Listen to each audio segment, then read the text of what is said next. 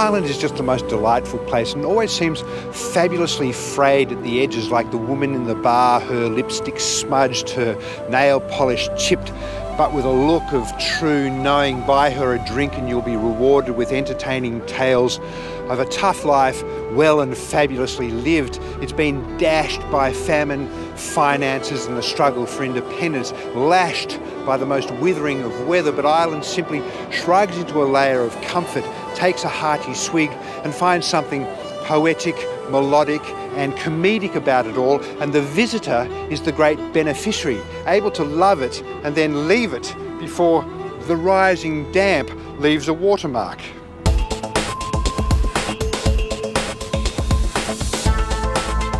We're exploring Scenic's Jewels of Iberia and Ireland cruise, one of the many dream destinations on the schedule for their new six-star discovery yacht Scenic Eclipse, which launches early next year. Our playground is the lush green landscapes of Ireland, from Dingle here in the southwest, across to Cobh, up to Waterford, and finishing up in Dublin.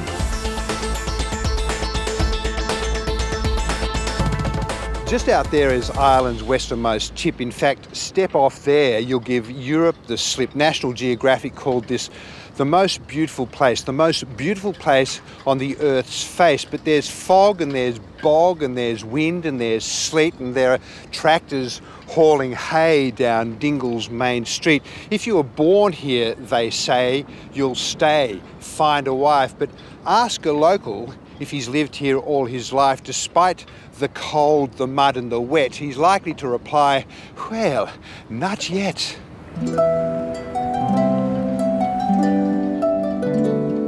Perched on the edge of the Atlantic Ocean is the delightful town of Dingle, and at its heart is its fishing port.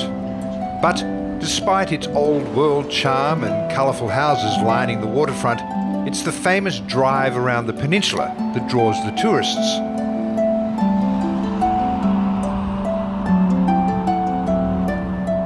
This mountainous finger of land jutting out into the ocean is home to an intoxicating blend of breathtaking scenery and ancient archaeological wonders.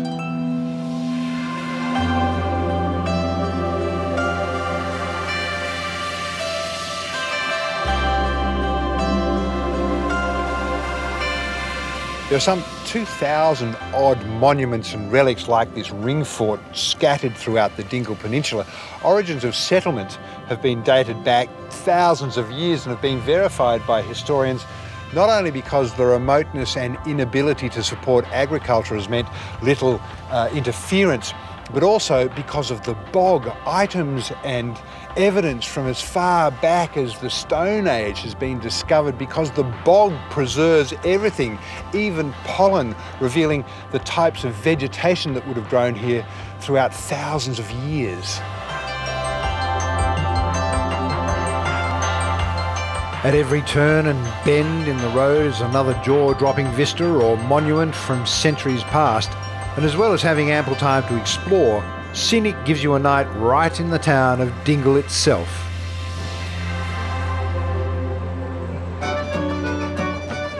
And like all good Irish towns, there's a wealth of watering holes to choose from.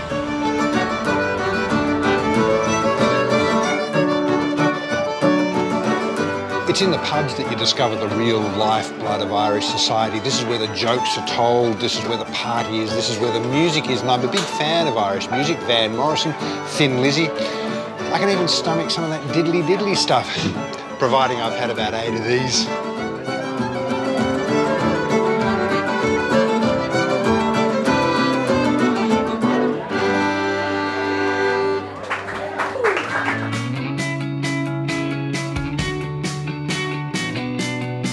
Our journey with Scenic on their Jewels of Iberia and Ireland cruise has landed us in the charming Irish town of Cobh.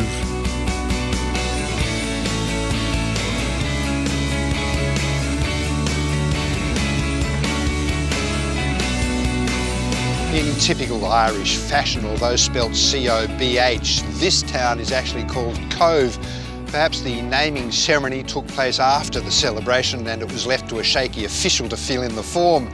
It's a sleepy waterfront town. Well, it's sleepy until they crank up the bells of the cathedral's carillon.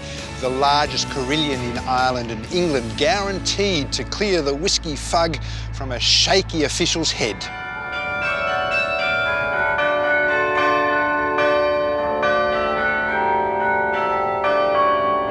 When Scenic's new six-star Discovery yacht Scenic Eclipse launches, it'll dock right here in this famous harbour. This is the second largest natural harbour in the world after Sydney Harbour and one that's been stamped with something of a trinity of tragedy.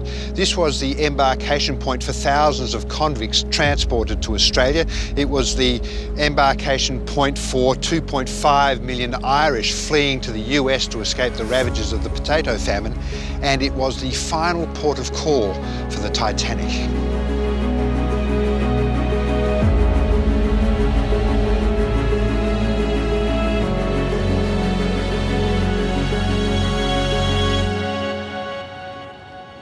Oh, and this is the pier. Exactly, yeah, this is the pier, Heartbreak Pier. Right. So okay. this is the original pier that's there since 1912 and it was called Heartbreak Pier because obviously mostly it would have been third class passengers who would have left from here and third class passengers leaving on a boat were generally going to America so they had to say goodbye to their friends, families and loved ones for the very last time. This was the embarkation point for 123 passengers of the Titanic. Of those, 44 survived its sinking. This museum now stands to honour those that succumbed to the icy waters and to give an insight into the fateful maiden voyage of the RMS Titanic.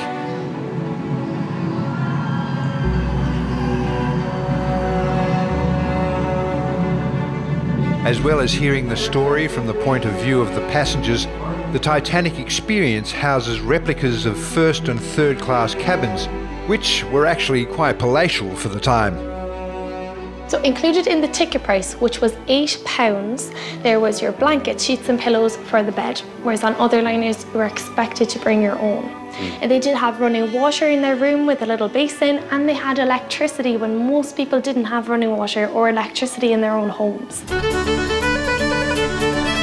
With the country's history of hardships, it's no surprise the Irish love a tipple. And when it comes to a national drink, it's a tight tussle between their beloved Guinness and their love of Irish whiskey. George Bernard Shaw said, Whiskey is liquid sunshine. James Joyce said, the light music of whiskey falling into a glass, an agreeable interlude. W.C. Fields said, always carry a flagon of whiskey in case of snakebite. Furthermore, always carry a small snake. Why is it that actors, musicians, and writers are so seduced by whiskey?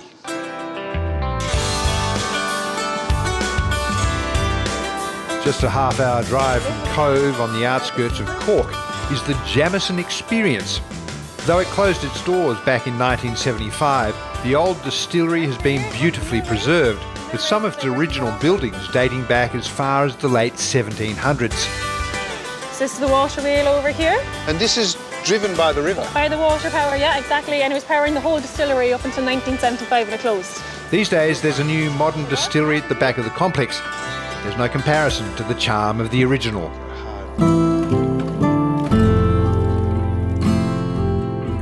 Wow! Yeah. That is a monster still. Yep, this is the largest one in the world. It can hold 32,000 gallons or 144,000 litres. It's beautiful. Isn't it, it is, isn't it? so if fire was lit underneath, that fire below this pot still would have used four tons of coal every 24 hours. Goodness gracious. Yeah. Naturally, a tasting is all part of the experience.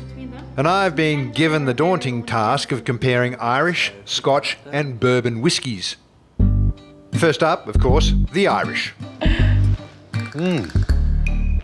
That is smooth and yeah. vanilla yeah. yeah, you get the sweetness on it, yeah. yeah. The Scotch.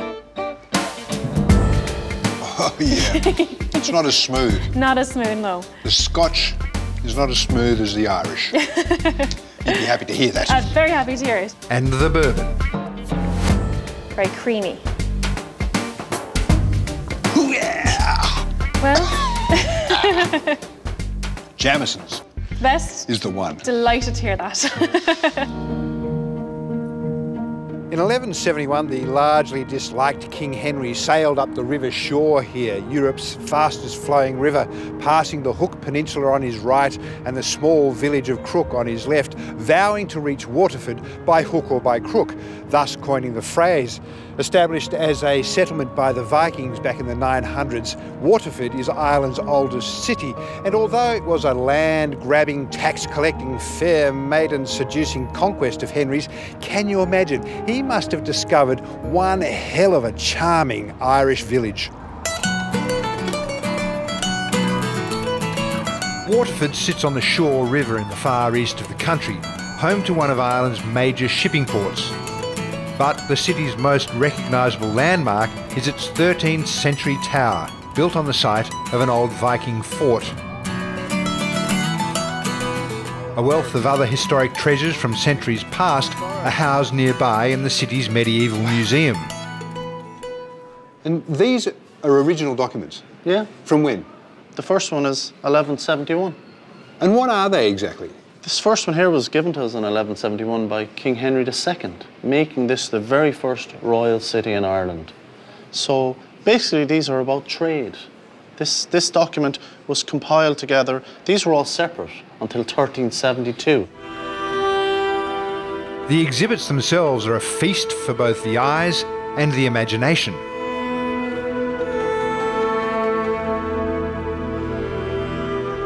This is King Henry VIII's actual sword from 1536, given to William Wise, the Waterford ambassador at the royal court, for doing the King's Highness his most diligent service. This rich royal history gave rise to what remains Waterford's most glistening tourist attraction, It's a miracle of light and heat and art, but a fine line between shimmer and shatter. Waterford crystal has been manufactured here since 1783, and in its heyday, every day, two tons of molten glass would be shaped into shining, sparkling objects of desire and shipped around the world. All that was needed? Glass, a furnace of 1400 degrees, a mould able to handle the heat, and the skilled lips of an artisan. On its own, the showroom is spectacular, but a behind the scenes tour will give you an even greater appreciation for these hand blown works of art. How long do these guys work to reach this level? To qualify as a master craftsman, you're working for about eight years. Your apprenticeship is five years. After that, you're qualified. So after five years, you're given a test and if you pass the test, you continue on training for three more years. Wow. Then you're a master craftsman. This here is the engine room of the entire business. This is hot, hard, high concentration work. It has to be at a high enough temperature to keep it pliable. Um, other than that, it's just going to be it's too hard to shape and it'll just they'll have to recycle it. It won't be good enough.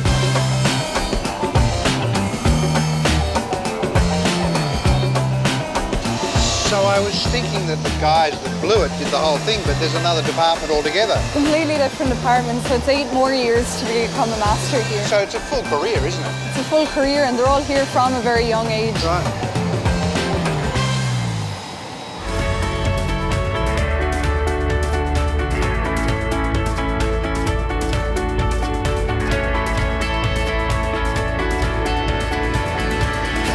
To finish a grand journey such as Scenic's Jewels of Iberia and Ireland Adventure, one needs a suitably fabulous final destination, and Dublin fits that bill superbly. The compact and charming capital is a fusion of past and present, from its centuries-old Georgian architecture to its lively watering holes and, of course, its homage to the country's favourite ale.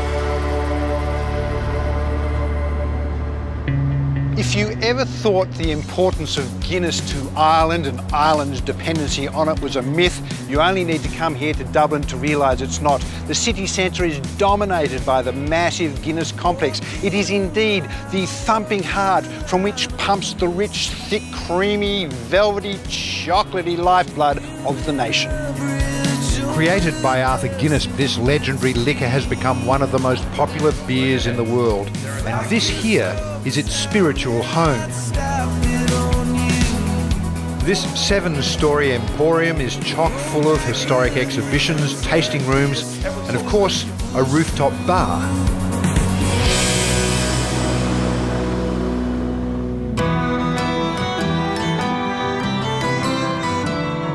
Over the centuries, Dublin has been a hub for artists, writers and academics, many of whom now form the famous alumni of Trinity College, one of the oldest and most esteemed institutions on the planet.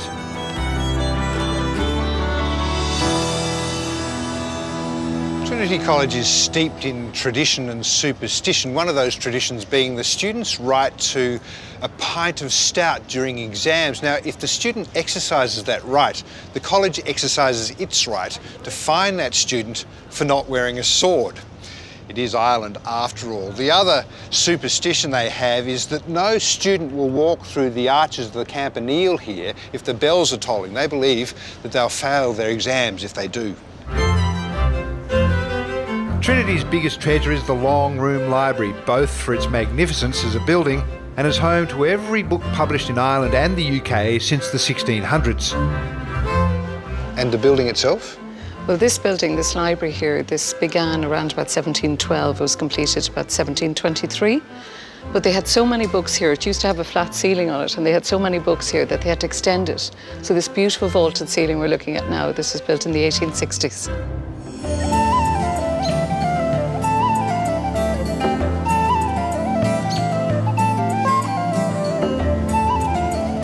Short walk from Trinity College is Dublin's main green escape, St Stephen's Green. The Lord Mayor of Dublin has the right to bestow on anyone considered to have made a significant contribution to the City of Dublin the Freedom of Dublin Award. The award grants the recipient certain rights, one of them being the right to pasture sheep on any common ground found within the boundaries of the city. In 2000, that well-known shepherd Bono of U2 promptly rounded up a flock and brought them here to graze. Just across from the park is our luxury hotel. Rest assured, Scenic will have you booked in at the best five-star address in town. At almost 200 years old, the Shelbourne is the grand old dame of Dublin's high-end hotel scene. This timeless landmark is an Irish institution and a mighty fine establishment. And while the bar here will more than satisfy your thirst, within a short walk you'll find a wealth of other local pubs and bars. But possibly the most iconic watering hole of all, the Brazen Head, the city's oldest pub, dating back to 1198, is still serving pints to this day.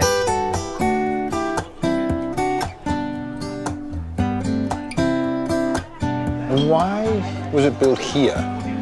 We believe probably this is the oldest part of the city, and this is where the first bridge was built in the city. And so Dublin got its name from the bridge that was built here. So this would be the perfect stop for people Yeah, entering the city, visiting Exactly, the city. nice watering hole. Right. Well, what was what was the pub like in your student days? In my days, there wasn't enough tables, and we used to come in here. You'd put your drink down on the floor. There was lining on the floor. There was holes in the floor, and your drink would often disappear. Right. It was that kind of place. Right. Yeah, And it's it's- fantastic.